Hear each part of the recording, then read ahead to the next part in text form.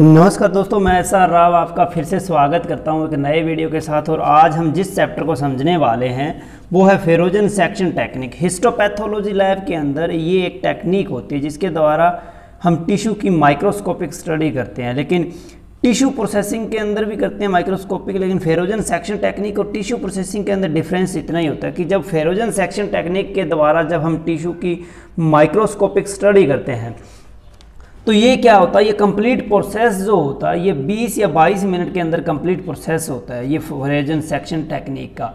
लेकिन जो tissue processing के अंदर क्या होता है कि जब माइक्रोस्कोपिक स्टडी करते हैं टिश्यू की जब सैंपल कलेक्ट हुआ सैंपल कलेक्शन होने के बाद जब हिस्टोपैथोलॉजी लैब में पहुँचा जब तक उसकी माइक्रोस्कोपिक स्टडी होती है, उसके अंदर कंप्लीट प्रोसेस के अंदर तीन से चार दिन तक का प्रोसेस होता है। अगर हम ऑटोमेटेड टिश्यू प्रोसेसर का यूज़ करते हैं, फिर भी दो से ढाई दिन तो लग जाते हैं। लेकिन फेरोजन सेक्शन टेक्निक क्या होता है? ये एक रैपिड प्रोसेस होता है। इसके अंदर ज़्यादा से ज़्यादा बीस से बाईस मिनट या तीस मिनट ही का, तीस मिनट का ही टाइम लगता है। तो इसके अंदर अपन क्या करते हैं? आज फेरोजन सेक्शन टेक्निक का प्रैक्टिकल जो वीडियो है, वो तो आगे कभी टाइम मिला तो बनाएँगे, लेकिन थ्योरिकल पार्ट जो है थ्योरिकल जो वीडियो है, अपन आज बना रहे हैं। इसके अंदर अपन समझेंगे क्या, इसको क्या करेंगे? एक पॉइंट बाय पॉइंट डिवाइडेशन कर रखा है मैंने। तो इसको पॉइंट बाय पॉइंट समझें जिससे आपको आसानी से याद हो जाएगा और एग्ज़ाम के अंदर लिखना बहुत आसान होएगा। तो सबसे पहले पढ़ेंगे इंट्रोडक्शन की, फेरोजन सेक्शन टेक्निक है क्या? सबसे पहले पढ़ेंगे फेरोजन सेक्शन टेक्निक का इंट्रोडक्शन इंट्रोडक्शन के अंदर क्या होता है कि फेरोजन सेक्शन जो टेक्निक है ये किस प्रकार वर्क करती है, क्या इसके मेन मतलब जो इसका शॉर्ट इन्फॉर्मेशन इसके अंदर पड़ेंगे। उसके बाद स्पेसीमेन हैंडलिंग है, जो इसका स्पेसीमेन होता है, जब हिस्टोपैथोलॉजी लैब के अंदर पहुंचेगा तो उसको हैंडल करने का स्पेशल प्रोसेस होता है, दो या चार बातें जो होती, ध्यान रखने वाली होती हैं, उनको समझेंगे। उसके बाद method of frozen section technique इसका कंप्लीट प्रोसेस है कि ये जो सैंपल को कलेक्ट करने के बाद माइक्रोस्कोपिक स्टडी तक का 20 से 22 मिनट 25 मिनट जो लगते हैं, ये कंप्लीट प्रोसेस कैसे होता है?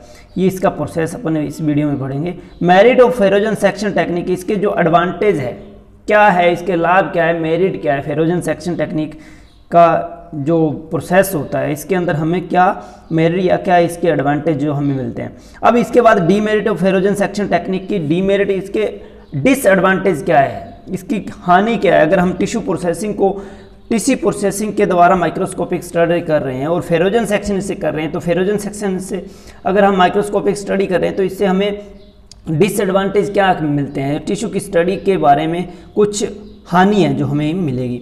उसके बाद ऑब्जेक्टिव फेरोजन सेक्शन टेक्निक, इसके उद्देश्य क्या है? क्यों हम फेरोजन सेक्शन टेक्निक को यूज़ करते हैं? ये कंप्लीट प्रोसेस है। ये अपन जो सारा इंट्रोडक्शन है स्पेसिमेन हैंडलिंग है method of frozen section technique है मेरिट डीमेरिट और ऑब्जेक्टिव ये कंप्लीट आज अपन इस वीडियो के अंदर पढ़ेंगे।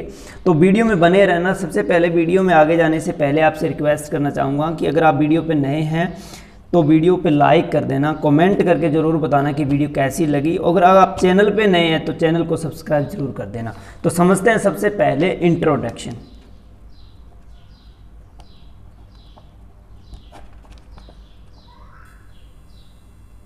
अब पढ़ते हैं इंट्रोडक्शन इंट्रोडक्शन के अंदर क्या है कि हम अपने फेरोजन सेक्शन टेक्निक का एक शॉर्ट इन्फॉर्मेशन लेते हैं कि फेरोजन सेक्शन टेक्निक का जो कंप्लीट प्रोसेस है, कैसे होगा अब सबसे पहले जो ऑपरेशन थिएटर के अंदर सैंपल कलेक्ट होता है। अब ऑपरेशन थिएटर के अंदर सर्जरी के दौरान डॉक्टर सैंपल कलेक्शन करता है। लेकिन कोलेक्ट सैंपल को कलेक्ट करने या सर्जरी में जाने से पहले डॉक्टर क्या करता है? ऑपरेशन थिएटर से पहले हिस्टोपैथोलॉजी लैब के अंदर इंफॉर्मेशन देता है कि हम ऐसा एक सैंपल भेजेंगे जो आपको फेरोजन सेक्शन टेक्निक के लिए आपको माइक्रोस्कोपिक स्टडी करनी है, उसकी और हमें रिपोर्ट प्रस्तुत करनी है या हमें रिपोर्ट पहुंचानी है। अब सैंपल को हिस्टोपैथोलॉजी लैब में पहुँचने से पहले क्या मिल जाती है? सूचना मिल जाती है हिस्टोपैथोलॉजी लैब में।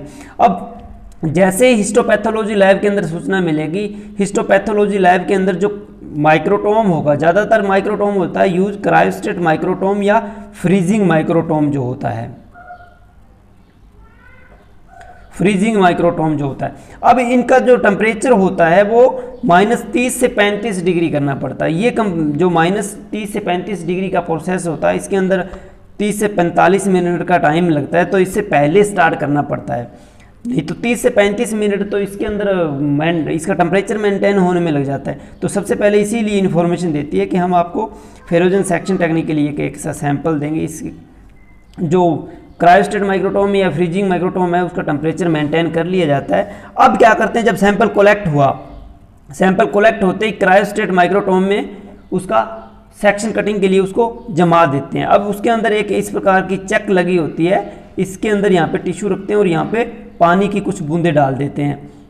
और ये जब कंप्लीट प्रोसेस होता है, तीस से पैंतीस डिग्री में होता है तो ये टिश्यू आसानी से जम जाता है। अब क्रायोस्टेट माइक्रोटोम इसके अंदर यूज़ होता है। क्रायो का मतलब होता है कोल्ड और स्टे स्टेट का मतलब होता है स्टेबल अब ये जो कंप्लीट प्रोसेस है माइनस तीस से पैंतीस डिग्री टेम्परेचर पे होते हैं, इसीलिए इसको बोलते हैं क्रायोस्टेट टेक्निक भी बोलते हैं. अब क्या है, इसके अंदर जो यूज़ होती है, ये जो माइनस तीस से पैंतीस डिग्री टेम्परेचर के लिए जो गैस यूज़ होती है, वो CO2 या लिक्विड नाइट्रोजन होती है. अब टिश्यू फ्रीजिंग सेक्शन कट हुआ, उसके बाद उसकी स्टेनिंग हुई. स्टेनिंग के बाद उसके जो स्टेनिंग करते हैं ज़्यादातर हिमेटोटॉक्सिलिन एंड ईओसिन स्टेन के द्वारा या पॉलीक्रम मथाइलिन ब्लू के द्वारा स्टेन करते हैं। स्टेन हुआ उसके बाद उसकी माइक्रोस्कोपिक स्टडी हुई और रिपोर्ट ओटी के अंदर भेज दी जाती है। अब आगे का प्रोसेस जो होता है डॉक्टर क्या करता है उस रिपोर्ट को देख के उसकी जो सर्जरी है जैसे भी करना है उसको आगे का प्रोसेस जो होता है डॉक्टर का होता है। ये जो कंप्लीट प्रोसेस होता है ना ये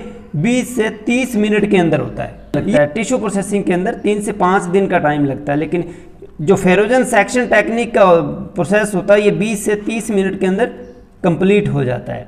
तो इसलिए हम चलती हुई सर्जरी के दौरान क्या करते हैं डॉक्टर ऑपरेशन थिएटर के अंदर सैंपल कलेक्ट करते हैं और हिस्टोपैथोलॉजी लैब के अंदर भेज देते हैं।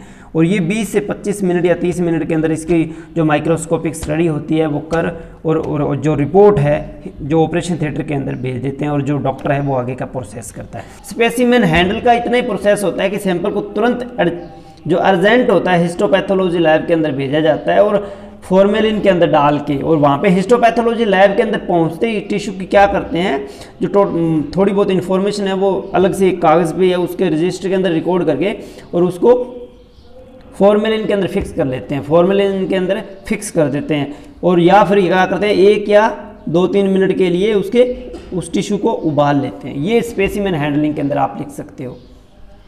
अब क्या करते हैं प्रोसेस हो या मेथड फेरोजन सेक्शन टेक्निक का जो कंप्लीट मेथड है, वो समझते हैं।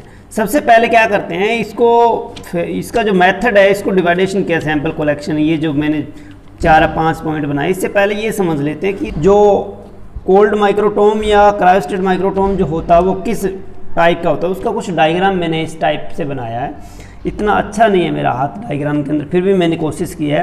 कि जो क्रायोस्टेट माइक्रोटोम होता है, ये फ्रिज टाइप का होता है, लेकिन इसके अंदर ही जो माइक्रोटोम होता है, इसके अंदर ही स्थित होता है। अब ये इस टाइप से माइक्रोटोम है, ये इसका थर्मोस्टेट है, जहाँ पे ये 30 से 35 डिग्री जो टेम्परेचर होता है, वो स्टेबल रहता है, ये इतना स्टेबल रहता है। ये इसके अंदर जो यूज़ होती है, वो होती है सी या लिक्विड नाइट्रोजन यहाँ पे इसका माइक्रोटोम जो लगा होता है। ये ट्रांसपेरेंट एक लीड लगी होती है, ये कोल्ड चैम्बर होता है, ठीक है? ये ऑपरेटिंग हैंडल होता है। जब सेक्शन को कट करते हैं तो इस जो कोल्ड माइक्रोटोम या क्रायोस्टेड माइक्रोटोम है, इसका हैंडल इसका जो हैंडल होता है, वो बाहर लगा होता है। इसको हम जैसे जैसे रन करेंगे, यहाँ पे सेक्शन हमें कट हुए मिलेंगे। इस यहाँ पे चक होती है, ये चक ये चक इस टाइप से होती है, देखिए, जैसे ऐसे। इसके अंदर यहाँ स्पेस होता है, यहाँ पे स्पेस होता है, यहाँ पे टिश्यू को रख के साइड में वाटर की ड्रॉप डाल दी जाती है और ये जो चक होती है यहाँ पे थर्मोस्टेट के अंदर स्थित एक स्पेस होता है, वहाँ पे रख देते हैं और दो या तीन मिनट के लिए वेट करते हैं। तो क्या करते हैं, ये जो वाटर की ड्रॉप के अंदर टिश्यू जो होता है, वो अच्छी तरीके से जम जाता है। और एक, जब हम यहाँ पे चक को कस के और जब इसके इसके हैंडल को ऑपरेटिंग हैंडल को जब रन करेंगे तो यहाँ पे जो निफ लगी होती है, निफ इसकी जो ब्लेड होती है वो सेक्शन को कट करती है। लेकिन ये सबसे बड़ी प्रॉब्लम इसके अंदर क्या होती है कि इसके जो जितने भी सेक्शन होते हैं, वो हमें अलग अलग से मिलते हैं। ये इसकी फिते रूमा जैसे टिश्यू प्रोसेसिंग के अंदर सेक्शन कट करते हैं, वैसे नहीं मिलते। अब यहाँ पे जो इसका प्रोसेस है, वो समझते हैं। सबसे पहले सैंपल को कलेक्शन किया। हिस्टोपैथोलॉजी लैब के अंदर सैंपल कलेक्शन करने से पहले इन्फॉर्मेशन मिली कि जो फेरोजल सेक्शन के लिए हमें एक टिश्यू मिलेगा। उसके बाद ऑपरेशन के दौरान क्या किया? सैंपल को कलेक्ट किया और हिस्टोपैथोलॉजी लैब के अंदर भेज दिया। उससे पहुँचते स्पेसिमेन को क्या करेंगे? फिक्सेशन करेंगे। 10 परसेंट फॉर्मेलिन के अंदर डालेंगे या एक से तीन मिनट के लिए टिश्यू को अपन क्या करेंगे? फॉर्मेलिन के अंदर उबाल लेंगे। अब टिश्यू के अंदर फिक्सेशन के प्रोसेस कंप्लीट होने के बाद क्या करते हैं? टिश्यू को चक के अंदर रखेंगे। अब जो मैंने यहाँ पे बताया था, चक यहाँ पे जो होती है वो उसको अलग से इस प्रकार की होती है, वो उसके अंदर डाल के टिशू को और यहाँ पे थर्मोस्टेट के अंदर रख देते हैं। अब रखने के बाद चक पर टिशू का जमाना यहाँ पे क्या करते हैं, दो या तीन मिनट के बाद जो माइनस तीस से पैंतीस डिग्री टेम्परेचर होता है तो उस पर टिशू जम जाता है। अब जमने के बाद क्या करते हैं, चक को यहाँ पर कसते हैं। कसने के बाद क्या करते हैं, यहाँ पे जो ऑपरेटिंग हैंडल है, उसको रन करेंगे, यहाँ पे जो निफ लगी होती है, उससे सेक्शन कट होंगे अब सेक्शन कट हुए कट होने के बाद जो सेक्शन है, उसको स्लाइड पे लेके क्या करेंगे स्टेन करेंगे। स्टेन पोलिक्रोम मिथाइलिन ब्लू या H and E stain haematoxylin and eosin stain का सबसे ज़्यादा यूज़ किया जाता है। उसके बाद टिश्यू की माइक्रोस्कोपिक स्टडी करेंगे और हिस्टोपैथोलॉजी लैब के अंदर जो रिपोर्टिंग है, उसको रिपोर्ट करके ऑपरेशन थिएटर के अंदर भेज देते हैं, जो भी उसका रिज़ल्ट होता है। ये होता है फेरोजन सेक्शन इसके अंदर अंदर क्या होता है कि जो ये कंप्लीट प्रोसेस होता है, ये 20 से 30 मिनट के अंदर होता है। ये एक प्रकार का बहुत ज़्यादा स्पीडली प्रोसेस होता है। अब अपन पढ़ते हैं इसके एडवांटेज या मेरिट इसके हमें लाभ क्या मिलते हैं? ये इतना स्पीडली प्रोसेस होता है, इससे हमें क्या जो बेनिफिट होते हैं, क्या इसके एडवांटेज हैं? अब merit of frozen section technique या advantage of frozen section technique इसके अंदर क्या होता है कि हमें फेरोजन सेक्शन टेक्निक के लाभ क्या मिलते हैं? सबसे पहले जो लो कॉस्ट है, ये बहुत ही कम खर्च पे ही जो माइक्रोस्कोपिक स्टडी है टिश्यू की, आसानी से हो जाती है। सबसे पहले ये बेनिफिट ये मिलता है। इसका मेरिट यही है कि ये बहुत ही कम खर्च पे क्या होती है, हमें जो माइक्रोस्कोपिक टिश्यू की स्टडी करना चाहते हैं, वो आसानी से हो जाती है। सेव टाइमिंग के अंदर क्या होता है, जो टिश्यू प्रोसेस का जो टाइम है, पाँच से तीन से पाँच दिन लगता है, लेकिन ये फेरोजन सेक्शन टेक्निक के अंदर क्या होता है, ये बीस से तीस मिनट के अंदर कंप्लीट प्रोसेस हो जाता है। उसके बाद है टिश्यू प्रोसेसिंग में डैमेज होने वाले टिश्यू। अब टिश्यू प्रोसेसिंग के अंदर कुछ टिश्यू ऐसे होते हैं जो क्या होता है कि जब हम टिश्यू प्रोसेसिंग करते हैं, उस टिश्यू के अंदर जो उसके सेल्स होते हैं, उनके अंदर क्या होता है, जो चेंजेज आ जाते हैं, जो टिश्यू होते हैं, उनके जो सेल की स्टडी होती है, वो अच्छे से नहीं हो पाती क्योंकि वो डैमेज हो जाते हैं। तो उस प्रकार के टिश्यू की अगर हम माइक्रोस्कोपिक स्टडी करना चाहते हैं तो वो फेरोजन सेक्शन टेक्निक के अंदर हम कर सकते हैं। ये इसके कुछ मेरिट हैं। अब demerit of frozen section technique अब इसके अंदर जो डिसएडवांटेज है, हम माइक्रोस्कोपिक स्टडी करने के लिए क्या करते हैं? या तो या तो टिश्यू प्रोसेसिंग करते हैं या फेरोजन सेक्शन टेक्निक करते हैं। लेकिन फेरोजन सेक्शन टेक्निक को कम यूज़ क्यों किया जाता है? टिश्यू प्रोसेसिंग के अंदर ज़्यादातर यूज़ किया जाता है क्योंकि उसके अंदर टाइम भी बहुत कम लग, ज़्यादा लगता है, फिर भी उसको ज़्यादा यूज़ किया जाता है। फेरोजन सेक्शन टेक्निक के अंदर टाइम भी कम लगता है, लेकिन इसको फिर भी यूज़ कम में लेते हैं। क्यों लेते हैं? क्योंकि इसके अंदर डिमेरिट, डिसएडवांटेज बहुत हैं। सेल की जो मोर्फोलॉजी स्ट्रक्चर होती है, वो चेंज हो जाती है। जिसे सेलुलर डिटेल्स जो होती है, वो हमें सही से माइक्रोस्कोपिक जो स्टडी होती है, वो आसानी से, अच्छे से नहीं मिल पाती। इसलिए इसका यूज़ कम किया जाता है। अब स्टेनिंग अच्छी नहीं होती। अब ज़्यादातर जो स्टेन होते हैं माइक्रोस्कोपिक स्टडी के अंदर हेमाटोटॉक्सिलिन एंड ईओसिन स्टेन या पोलिक्रोम मथाइलिन ब्लू का स्टेन का जो यूज़ किया जाता है। लेकिन इस, इन प्रकार के ऐसे स्टेन के अंदर भी क्या होता है कि जो फेरोजन सेक्शन टेक्निक के अंदर जो सेक्शन होते हैं, वो आसानी से स्टेन नहीं होते और उससे क्या होती है, जो माइक्रोस्कोपिक स्टडी होती है, वो अच्छे से नहीं होती। स्पेशल स्टेन का यूज़ पॉसिबल ही नहीं है, कोई अलग से कोई विशेष स्टेन होती है, उसका यूज़ इसके अंदर हो कर ही नहीं पाते, क्योंकि इसके अंदर जो हम जल्दी से सेक्शन कट होता है, इसके अंदर क्या होता है कि इसकी जो माइक्रोस्कोपिक स्टडी करनी है तो हमें मेटाटॉक्सिलिन एंड ईओसिन स्टेन या पोलिक्रोम मथाइलिन ब्लू का ही यूज़ किया जाता है। और उसके अंदर भी सेलुलर जो स्ट्रक्चर होता है, वो अच्छे से प्रोवाइड नहीं होता। Impossible to get serial section जो सेक्शन होते हैं, वो हमें फीते नुमा या एक से एक के साथ जुड़े और लंबा फीते के रूप में जो हमें सेक्शन होते हैं, वो नहीं मिलते। उसके सिंगल सिंगल जो सेक्शन होते हैं, वो हमें मिलते हैं। पूर क्वालिटी ऑफ़ रिपोर्टिंग इसकी रिपोर्ट के अंदर पूरा हम सौ हंड्रेड परसेंट भरोसा करके नहीं कह सकते कि ये रिपोर्ट मतलब सही है, क्योंकि इसके अंदर, इसकी जो रिपोर्टिंग की क्वालिटी होती है, वो पुअर क्वालिटी होती है, अच्छी क्वालिटी नहीं होती रिपोर्टिंग की, क्योंकि एक जल्दी से किया हुआ प्रोसेस होता है। सेल की स्ट्रक्चर शो एंड डिफ़िकल्ट अब जब माइक्रोस्कोपिक स्टडी के अंदर हम जब जब सेल की स्टडी को देखते हैं या माइक्रोस्कोपिक स्टडी करते हैं तो जो उसकी सेल की स्ट्रक्चर होती है, वो चेंज हो जाती है या सही से स्ट्रेन नहीं होती। उसकी वजह से क्या होता है, जो सेल होता है, हमें जो माइक्रोस्कोप के अंदर शो हो रहा है, वो बहुत ही डिफ़िकल्ट हो जाता है पहचानना, जिसको हम माइक्रोस्कोपिक स्टडी के अंदर देखना चाहते हैं। ये है demerit of frozen section technique इसके अंदर आप सबसे पहले सेल की मॉर्फोलॉजी चेंजेस है, उसके बाद सेलुलर डिटेल्स की स्टडी जो आसानी से नहीं होती स्टेनिंग अच्छे से नहीं हो पाती स्पेशल स्टेनिंग का इसके अंदर यूज़ ही नहीं कर सकते हम।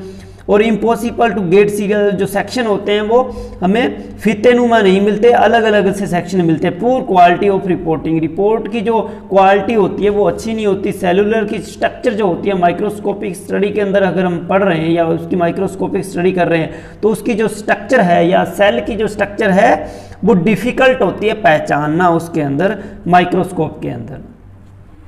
अब क्या करते हैं? फेरोजन सेक्शन टेक्निक के ऑब्जेक्टिव पढ़ते हैं। उद्देश्य क्या है? Objective of frozen section technique. इसके उद्देश्य क्या है? क्यों हम फेरोजन सेक्शन टेक्निक को यूज़ करते हैं? टिश्यू प्रोसेसिंग के अंदर भी सेल की जो माइक्रोस्कोपिक स्टडी होती है, वो मिलती है। और ये फेरोजन सेक्शन टेक्निक का हम यूज़ क्यों करते हैं? सबसे पहले रैपिड डायग्नोसिस है। ये जो फेरोजन सेक्शन टेक्निक है, इसके अंदर बहुत कम टाइम लगता है, इसलिए इसको रैपिड डायग्नोसिस के अंदर नाम से भी जाना जाता है, क्योंकि टिश्यू की जो माइक्रोस्कोपिक स्टडी होती है सैंपल कलेक्शन से लेके जो माइक्रोस्कोपिक माइक्रोस्कोपिक स्टडी है, जो रिपोर्टिंग का टाइम है, ये कंप्लीट प्रोसेस 20 से 30 मिनट के अंदर कंप्लीट होता है। उसके बाद है, कैंसर सेल जो होते हैं, उसका अगर ह्यूमन बॉडी के अंदर किसी प्रकार की कोई मेलिजेंट ग्रोथ हुई है, उसके अंदर पहले से डायग्नोसिस हुआ है कि इसको इस सेल्स के, इस के अंदर प्रेजेंट अपने आज पढ़ा है टिश्यू प्रोसेसिंग के अंदर टिश्यू प्रोसेस का एक शॉर्ट रूप होता है फेरोजन सेक्शन टेक्निक है। तो मिलते हैं नेक्स्ट वीडियो में, तब तक के लिए नमस्कार।